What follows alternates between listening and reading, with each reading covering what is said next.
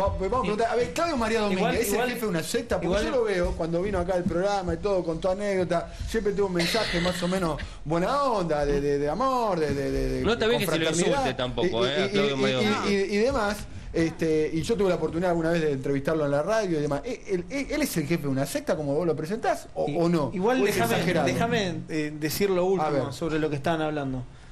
Porque una cosa son religiones donde se respeta la libertad individual y una cosa es persuasión y otra es persuasión coercitiva donde te someten con estas técnicas. O sea, no te dan elección, te someten. Bueno, lo Dei, Verbo Divino. Bueno, hay un montón de sectas. Hay un montón de ¿cuál sectas dentro del catolicismo. Hay un montón de sectas. Claro, son ramas. Son ramas, instituciones que se aprovechan de la fe de la gente. Boca Juniors se aprovecha de la gente también, porque hace que la gente vaya a ver a Boca. Déjense de joder, Dios también es... Bien, vamos a ver un poquitito la, pregunta que te, hice. Pablo, la, pregunta que, que te hizo, un poco de Claudio María Domínguez. ¿Es el jefe de una secta o es un divulgador de conocimientos eh, Bueno. diferentes? Personalmente, Sí. eh, sigue diciendo lo que vengo diciendo hace varios Sí. años. Él es un promotor, estuvo dentro de la organización del Maestro Amor, Sí. no es que fue un periodista que fue y le hizo una nota. Sí. Por eso yo fui y le hice esa pregunta, porque además hace esa mala utilización del karma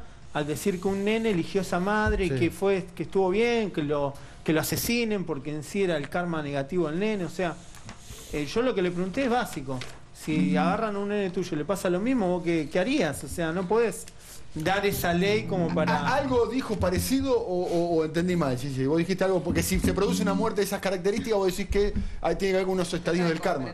Sí, lo que pasa es que lo estamos reduciendo como a hechos que son inexplicables para el ser humano no evolucionado, además, porque yo no me considero No. digo, por eso yo digo, estoy hablando de algo que me, cos- me cuesta hasta verbalizarlo porque es imposible de comprender Bien. que le pasa algo a un hijo tuyo. Pero, de acuerdo a la filosofía que cree que eh, tiene que ver con el karma, se supone que cada una de las cosas que suceden en tu vida, y es una forma de vida que uno elige vivir o no, cada una, las buenas y las malas, tienen que ver con un recorrido por el que estás transitando desde que empieza hasta que termina. También puede ser interrumpida esa vida. Alguien te puede asesinar en el medio y se interrumpe tu vida abruptamente y tenés que volver a encarnar para retomar lo que interrumpieron. Bueno, pero, por por ejemplo, ejemplo, Pero hay todo una lo que sucede que- tiene que ver con un aprendizaje. Vos podés tomarlo o no, vivir enojado o evolucionar. Está bien, pero hay una gurú, por ejemplo, que escribió un libro donde está escrito que dice que los niños que son abusados buscan el abuso. No, pero eso, es- eso, es- eso es aprovecharse de una pelota. Claro, Bueno. que los niños que son abusados por, por adultos, el niño busca el abuso. No. Entonces no podés decir ¿Y qué tiene que ver? A ver, yo, yo no lo, En algún momento Claudio María Domínguez Claro. salió a justificar este discurso, digamos. Eh, vos, vos que lo seguís, yo no, No, lo, él- lo veía, él- no. lo veía la trasnoche de ese 5N, digamos, no, no, no, no soy Está siendo muy duro para mí con. Claudio María Domínguez. Se lo insulta, se le dice que es parte de una secta, se le dice que es cabeza de una secta y públicamente lo que se ve de Claudio María Domínguez es una persona que intenta ayudar, incluso no hablando de religiones, hablando de uno mismo, reconocer tu miseria, tratar de mejorar, tratar de no hacer daño, tratar Habla de un no- tipo que cura el cáncer también, ¿eh? Con imposición de manos. ¿Quién, quién Eso, lo, lo viste en el cuando estaba distraído. Eso fue hace 15 años y ya pidió perdón. ¿Cómo se pipe? de eso? No hay, no hay vuelta atrás de una cosa así. Bueno, para mí. bueno, para vos no, para mí Para sí. mí. Listo, Pero, cambiemos de tema, porque si no, no podemos hablar más. Todo lo que haga Claudio María Domínguez está mal porque hace 15 años vino de Filipinas con un VHS. No, no, no, esto No fue podemos hablar más. Hace Esto 15 fue años vino con un VHS ¿No y Claudio? Domínguez. Me parece que Está tendría que mal. estar atento al tape que vimos hace un ratito. Pero pasó hace 15 años. ¿Cuánto- No es Yo eso. no había nacido cuando te dieron los, los doctores al que filipinos. tenés eso. 15 años. Me decís que fue hace 15 años. ¿Cuánto hace? Lo que vimos en el tape fue Vale, hace ¿lo puedo poco ver de de un tipo en Córdoba. Vamos a recuperar, ¿qué parte? La De un, par- de un tipo que estaba en el interior acá. ¿Y Bueno. qué tiene que ver Claudio María Domínguez con eso? Lo, lo del doctor Amor. Ah, cura el cáncer a través de imposición de mano aparición de huevo. Si te acordás cuando estuvo acá Sí. Claudio María Domínguez, él, y ciertamente reconocía que en esta etapa él no está sugiriendo ni determinadas doctrinas, sino como el autoconocimiento. Él lo que recomienda es Eso. salir desde uno mismo. Eso no es una religión, no es una secta. No es una religión, todo lo que pasó antes con Claudio Domínguez, Y no le María dicen, Domínguez. vayan acá. Yo no lo escuché decir, vayan acá, vengan acá. No, Sí. Pero va en el lugar de él. Él tiene No. el kiosquito de él, ¿o no? No, no. A ver, sí contanos, promociona. contanos. Promociona Primero- su libro como No, lo no, hace cualquier tipo no, que escribe libro. Primero es así, las organizaciones coercitivas Ah. tienen seminarios de distintos tipos de pseudoterapias que Bien. no están aprobadas ni reguladas por el Estado ni el Ministerio de Salud, como lectura del aura, temas de energía, todas cosas que no están reguladas ni aprobadas, ni verificadas científicamente, ni nada. Todos esos cursos, seminarios, son en negro. Ese dinero se lava a través de fundaciones o ONG. Pero no todas, ¿eh? porque estamos La mayoría, generalizando, no, la estamos generalizando la y no mayoría, está bueno, porque hay la mucha gente que recurre Bueno, a ese tipo de mayoría terapias, alternativas y que les no es algo regularizado. Vamos- vamos a ver, no lo pueden blanquear. Vamos a ver este momento que hacían referencia eh, Eduardo y, y- y Matías eh, con respecto al TEI. Vamos a ver de vuelta este momento, dale. Decían que había un muchachito morochito divino en Catamar cobrando milagros, sanando gente, pero además sanando vidas. Es decir, no solo curando un cáncer, no solo curando un cáncer. ¿Qué viste vos con tus propios ojos? Beto, si vamos primero a la pregunta eh, epidérmica, que viste milagros, todos los que se te ocurran.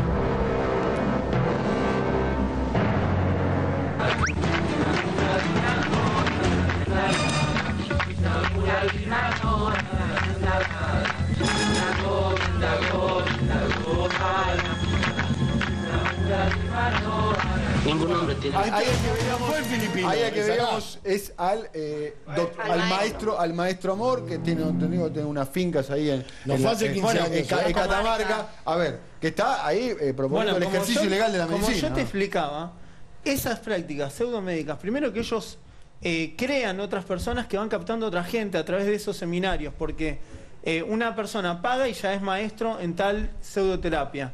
Esas pseudoterapias pueden llevar a la muerte, porque hay mucha gente vulnerable que tiene enfermedades terminales, que realmente está desesperada y cae en esos lugares. Por ejemplo, yo en el 2012 lo denuncié penalmente a Domínguez por promocionar terapias con la ayahuasca, que es una droga que está prohibida, que es una droga La que tomó peligrosa, Graña, recordemos que terminó ahí. que es una, culo una droga peligrosa que Pero- puede llevar a la muerte. Pero que bien suministrada, guiada Sí. y administrada Está también prohibida. te puede servir Está como una terapia. está también está prohibida prohibida, la está marihuana, la eh, y qué no, tiene que ver y tendría que estar no, legalizada, o sea, no tiene no, nada que ver. No, no porque eh, no es como la marihuana. Es un conjunto de ramas No, y eso tiene DMT es que es mucho más que potente. tiene que ser, tenés que ser guiado por un chamán que te tiene que ser. Por ¿Al ahora chamán quién lo prepara? tirar, ¿Qué título por tiene? la borda del chamanismo. Entonces que no estudiemos en medicina, Latinoamérica- no tengamos Pero en el Imperio. Inca no había universidad. ahora sí, ¿no? pero ahora sí Eh, tenés. Los chamanes se, te- Pero- ahora tienen el conocimiento de Pero otra ahora, manera, pero ahora evolucionó la sociedad.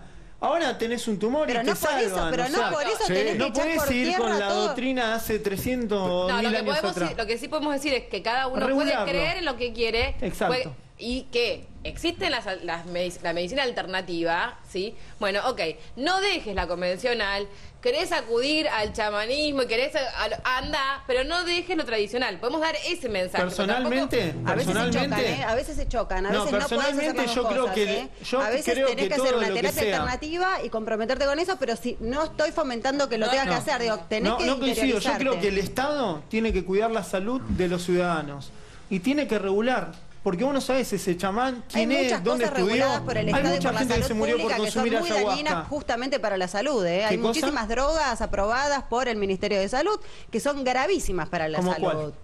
No, hay voy a hacer una lista, pero hay un montón. Bueno, Hay pero Lo que sí está claro hay es que la medicina- Hay- hay- hay- está demostrado, por ejemplo, desde que se inventó, eh, apareció el Prozac, eh, antes era uno cada 20 personas tenía, eh, tenía depre- depresión y ahora, no sé, 7 de cada 10. Por ejemplo, hace- estoy leyendo justo un libro que es de la mujer de Berbisky, que Sí. es interese- Eh, ah, interesantísimo. sí, sí, sí, Sana tal cual. Sana, que plantea eso Tal y cual. plantea la posibilidad de que el Estado regule la medicina, Claro, cómo intervenir la medicina homeopática con la tradicional y cómo se cómo Pasa por un tema de regular y darle un marco legal donde la gente esté protegida. Yo me trato con homeopatía, para mí yo tuve- tuve excelentes resultados, pero mucha no gente tiene nada que ver homeopatía. con una secta también es cierto que en Occidente, eh, que conduce las políticas sanitarias, ¿quiénes son? Los laboratorios. Los laboratorios, por eso, Que ahí es un negocio eh, eh, extraordinario. Quiero que me digas qué pasó con el proyecto tuyo de ley antisecta, que tengo entendido que está ahora partido en, en dos partes. Una parte más preventiva Bueno. que, que ingresó al Congreso, Sí. ¿no? Contame un No, no se llama ley antisectas porque Bueno, ya te digo, así es como la- ley de grupo la- de dependencia. Eh, se dividió, por supuesto, la, la parte que ingresó al Congreso Nacional eh, es la parte de prevención y concientización, asistencia a ¿Un víctimas. diputado de qué partido? de Frente por la Victoria. ¿Cómo se llama el diputado? Gustavo Rubin. Bueno, y, y todo indicaría que están en condiciones de poder Ya, aprobarse. ya me reuní con el Juan Carlos Molina, el Cedronar, eh, nos va a apoyar. Sí, eh, te está apoyando el Cedronar. Con la mesa interministerial de Nación, que está la gente que trata de personas, de justicia, salud, eh, ellos ya están en el tema. Y sí, por supuesto, nadie se puede negar a esto. Espero que alguno de los partidos que algún partido que hemos denunciado que tiene conexiones con estas organizaciones no se oponga, porque serían un mamarracho. si ¿Cuál partido? El PRO. Porque cuando lo trajo a Ravi Shankar vos lo denunciaste, ¿no? Eh, porque subsidia y promueve un montón de organizaciones. Sí. Cienciología, Brahma Kumaris, Arte y Vivir, bueno, el Congreso Ah, Espiritual eh, de está- Fe estás Vida. hablando- eh, pero eh, esas organizaciones que vos defines, ¿para qué es importante? ¿Tienen parte dinero público porteño, digamos, el gobierno de la Tiene ciudad? subsidio. El arte de ¿Tiene vivir está auspiciado por el ¿Eso lo gobierno tenés probado? Por ¿Tenés ejemplo, probado lo por que está en ejemplo, la página de ejemplo- Arte Vivir? eso? Sí, por ejemplo, el arte vivir. Por ejemplo, el arte vivir ahora en estos el arte vivir en estos días, el intendente de Olavarría declaró a la Eh, ese Berry, tengo entendido que está con eh, Massa, con Sergio Massa. La verdad, que yo- la verdad que a mí los partidos políticos yo Sí. denuncio al que hace mal las cosas y promover una organización peligrosa como lo es esta eh, eh, la verdad que es aberrante ¿A ¿Cuál está promoviendo el de Olavarría? Eh, al arte vivir va eh, la declaró como ciudadana ilustre a su líder acá de Argentina y las actividades del arte vivir eh, a nivel municipal, o sea, Sí. están con la gente del gobierno Sí, trabajando ahí. En vez de llamar a los profesionales que estudian 10, 7, 8 años, Sí. llaman a esta gente. Está bien. Bueno, gra- gracias Pablo. Quizás eh, creo que se armó un debate, no sé si estoy de acuerdo con todas las posiciones que, que vos tenés, pero me parece muy valiente que, que lo hagas y demás. Muchísimas gracias Pablo Salón por pasar por, por nuestro eh, programa.